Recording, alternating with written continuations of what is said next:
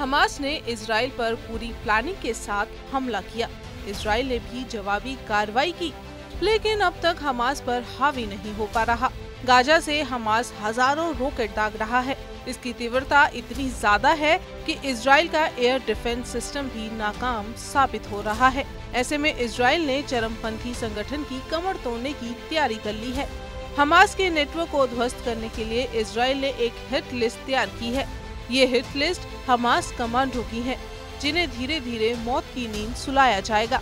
Gaza पट्टी से लगातार हो रहे रॉकेट के हमलों का सामना कर रहा इसराइल अब हमास के कमांडरों का खात्मा करने का मन बना चुका है। इसके लिए इजरायली डेथ स्क्वाड तैयार किए गए हैं। ये दस्ते एक एक कर इन कमांडरों को निशाना बनाएँगे। जिस तरह पश्चिमी देशों ने I S I S I S के कमांडरों के साथ किया था डेली मेल की एक रिपोर्ट के मुताबिक एक इजरायली अधिकारी ने खुद इसकी पुष्टि की है। इजरायली सुरक्षा एजेंसियाँ गाजा के बाहर हमास के ठिकानों का पता लगाने में जुटी हैं।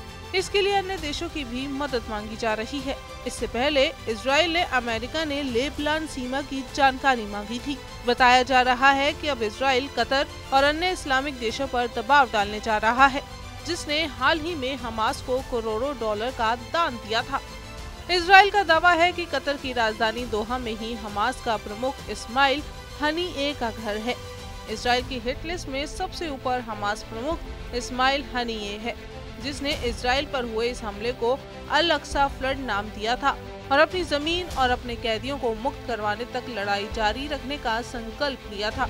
इसराइल की ओर से जो सूची में यामहा सिनवार का नाम भी शामिल है, जो गाजा में हमास का प्रमुख कमांडर है। सूची में तीसरा नाम हमास के सरगना मोहम्मद हैफ का है, जो अक्सर नाम बदल कर रहता है।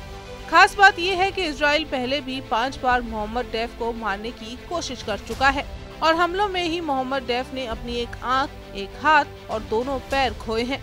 इसराइल का दावा है कि हमास की एक और से हमला किया गया। और प्रमुख मास्टरमाइंड मोहम्मद डैफ ही था। इसराइल की संभावित हिट लिस्ट में अबू ओबेदा का नाम भी शामिल है, जो आईक्यूबी का प्रवक्ता है। जानकारों का मानना है कि हमास के कमांडरों की संख्या तकरीबन 15 है। इनका प्रमुख इस्माइल हानिए है। इन कमांडरों का चयन एक चुनाव परिषद की ओर से किया जाता है। डेली मेल की माने तो आईक्यूबी हमास की एक सैन्य शाखा है। इसकी कमान मारवान ईसा और मोहम्मद डैफ संभालते हैं। आईक्यूबी ज़्यादातर सरकार के अन्य क्षेत्रों से हटकर संचालित होता है, जो धीरे धीरे मज़बूत होता जा रहा है।